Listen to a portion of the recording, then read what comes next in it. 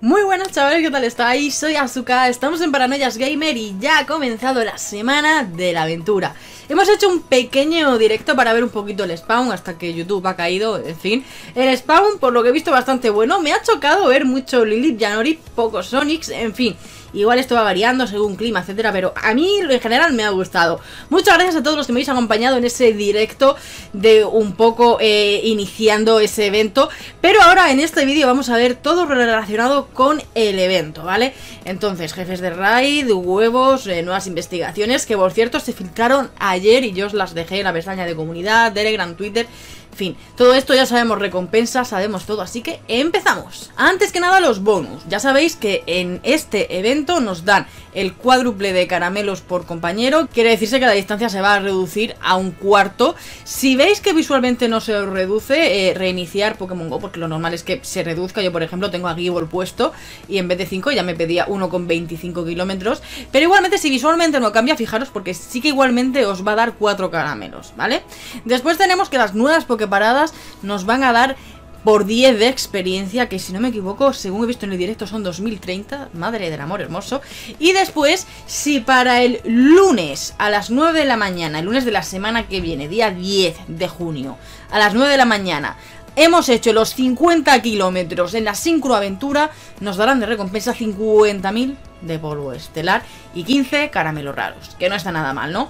Esos serían los bonus de este evento, de esta semana de la aventura que os recuerdo que finaliza el día 11 de junio, dura una semana. Vamos ahora con las investigaciones, que como dije se filtraron ayer, pero no sabíamos ni número ni sabíamos qué recompensas es lo que daban, ¿no? Así que bueno, os leo por aquí. Tenemos que capturar 5 Aron, que además nos pueden salir Shinies, nos va a dar como recompensa el revestimiento metálico que sirve para evolucionar de Onis a Extelis.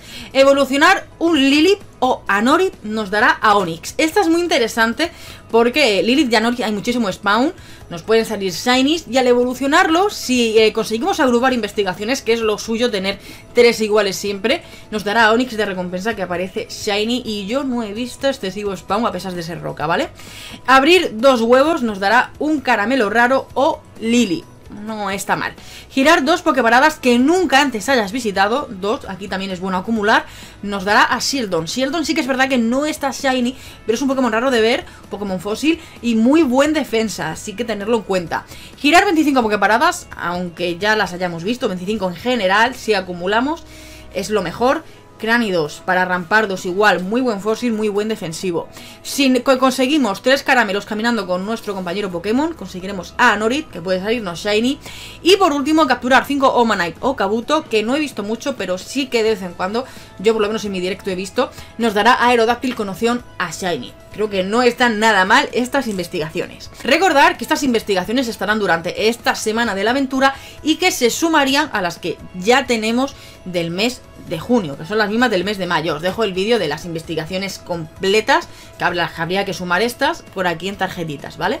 Ahora si pasamos a los huevos de 2 kilómetros, que por aquí abajo en descripción tendréis un vídeo donde os digo qué sale de cada huevo, pero además de los que ya tenemos fijo, como ya ocurre con las investigaciones, a los de 2 kilómetros habría que añadirles los siguientes Pokémon. En huevos de 2 kilómetros, ahora, aparte de lo que ya salía, que repito, dejo el vídeo en descripción, puede salirnos Anorit, Granidos, Geodude, Larvitar, Lily, Omanite, Onix, Raihon, Shieldon.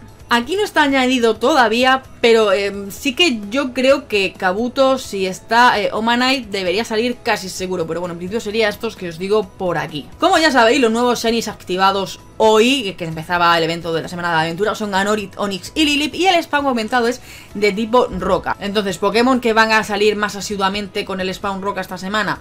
Geodude, Normal, Alola, eh, Anorit, Aaron, Corsola para regionales, Cranidos, Kabuto, Larvitar, Lilip, Lunaton, también Nosepass, Omanite, Relican para regionales, Raihon, Sheldon, Shacket, Slugma, Solrock. Y por último nos vamos con los jefes de incursión, que por esta semana también cambian y tenemos tipo roca lo que más. Por aquí os lo voy a decir yo ahora mismo, pero si hay algo más que se añada de jefes de incursión os lo dejaré en descripción, aunque creo que las listas ya están completas, pero siempre hay alguno que si sale más tarde del huevo... Ah, pero bueno, os lo pongo en descripción si no, ¿vale? En principio sería Ray de nivel 1, Kabuto, Lilip, Anorit, Geodude y Omanite. Después tenemos de Raid de nivel 2 Nosepass, Mascargo, Sudogudo y Mowil.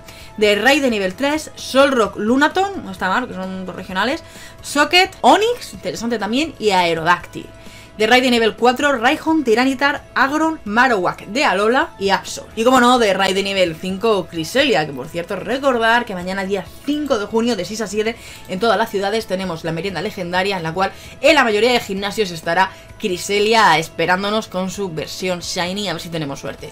Esto sería todo en cuanto al evento Roca, nuevos Shinies activados, nuevos jefes de incursión, nuevas investigaciones, recompensas, huevos de 2 kilómetros adicionales. Os deseo muchísima, muchísima suerte. A ver si yo los próximos días tengo más que en el directo, que he visto mucho spawn, pero ningún shiny. Y nada más. Yo con esto me despido y nos vemos en el próximo vídeo aquí en Paranoias Gamer. Un saludo.